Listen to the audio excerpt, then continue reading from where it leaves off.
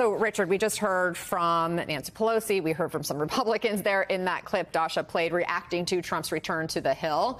What's your big takeaway? A few things. One, again, he was returning to the scene of the crime, as, as Nancy Pelosi said.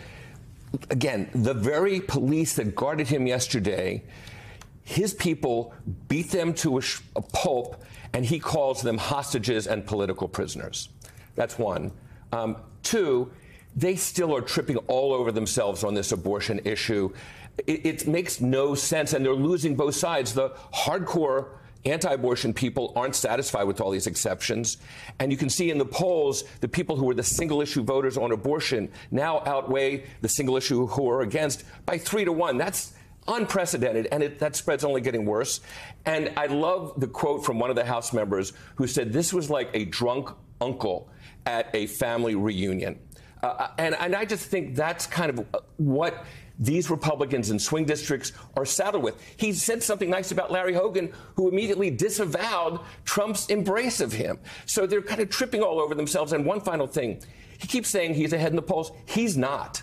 If you look at likely voter polls, today and over the past week, there are several national polls where Biden had been tied, maybe behind a point or two. He's up two, four points over where he was as of the time of those convictions. So things are not trending well for Donald Trump on his 78th birthday. I will say, coming out of that meeting, a lot of the messaging was all around unity, mm-hmm. Maura. And we saw, as Dasha pointed out, some of his more boisterous GOP critics in that room in these meetings. People like Mitt Romney, uh, Bill Cassidy, and of course Mitch McConnell, who called the meeting entirely positive. Well, Liz Cheney, former Congresswoman, former Republican leader mm-hmm. in the House, reacting with this post. Trump and his collaborators will be defeated, and history will remember the shame of people like Leader McConnell who enabled them.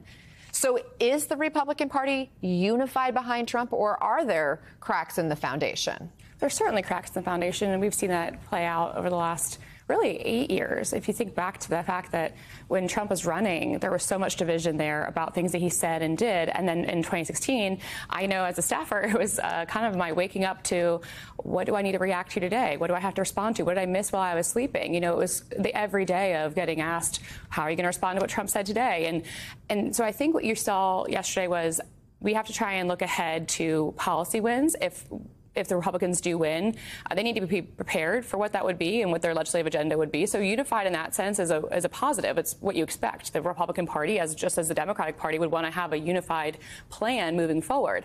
Um, but I do think it's interesting that whether it's negligence, ignorance, or whatever it is, about what happened on January 6th. I mean, the former president has failed to take responsibility, to acknowledge what happened that day, and those members on a personal level have to decide what's their threshold for keeping their job, for working on behalf of their constituents, or for their own integrity of what they're willing to put up with uh, in order to, to, get the job well, done. Well, apparently so, for Mitch McConnell, who called Trump practically and morally responsible for January 6th, he's made the choice that he's better falling in line. And I, I think to say it like that, I don't disagree with you, but I, again, what are they supposed to do? Not it's not as easy as it seems to stand out on the sidelines like Liz Cheney is now in a position to do. I agree with her, but I'm saying as far as these members have to decide is they're in this position. They're representing the 700,000 people in their district. So their best chance of getting something done is working within their conference to navigate. Do they all need to go out there and be cheerleaders for the former president? No, they do not. But they need to get their work done. And for a Congress that has abysmal uh, approval ratings, it's really important that they try and get some sort of policy wins.